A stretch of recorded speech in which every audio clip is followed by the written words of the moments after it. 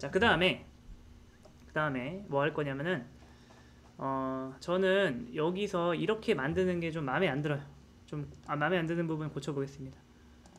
여기서 아이디가 이게 널이잖아요. 널인데 요걸 이렇게 하는 거보다는 이렇게 하는 게 좋을 것 같습니다.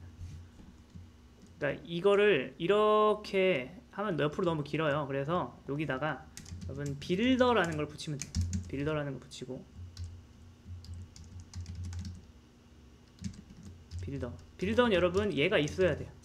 얘가 있어야 빌더가 됩니다. 이렇게 하시고 한번 만들어 볼게요. 비교를 해보시죠. 빌더 유저네임은 유저 1 패스워드는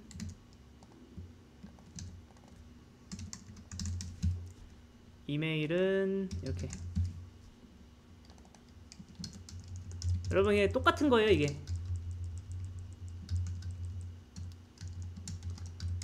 자 어떤 게 더 보기 좋나요? 저는 이게 더 보기 좋은 것 같아요. 일단 그러니까 지금 이거는 뭐냐면은 이렇게 한 거랑 그냥 똑같습니다. 진짜 똑같아요. 그러니까 자바에서 롬복에서 여기다가 여러분이 빌더라고 추가하면은 그러니까 이런 식으로 할 수가 있어요 제가 이거는 비교를 위해서 여기다 남겨 드릴게요. 이렇게. 그러면은 자 사이트 유저 유튜 이거는 이렇게 해서 이렇게.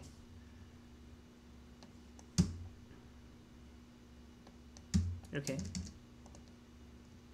이러면은 내가 필요 없는 거는 빼서 넣을 수가 있죠. 빼면 자동으로 널이 들어갑니다 이렇게. 여기선 지금 아이디 안 넣었잖아요. 근데 여기선 어쩔 수 없이 아이디에 널을 넣어줘야 되죠. 왜냐면 생성자 그리고 요거는 더 좋은 거는 여기 순서를 바꿔도 된다는 뜻이 자 요거 잘 되는지 하려면은 일단 요거를 먼저 하셔야 돼요. 얘를 먼저 하시고 그 다음에 테스트를 해보셔야죠. 요 빌더는 다른 곳에서도 많이 쓰이기 때문에 제가 이번에 도입을 한 겁니다.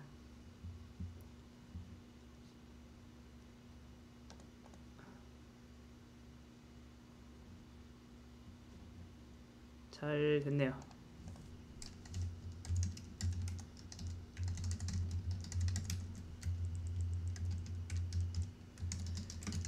생성의 빌더 도입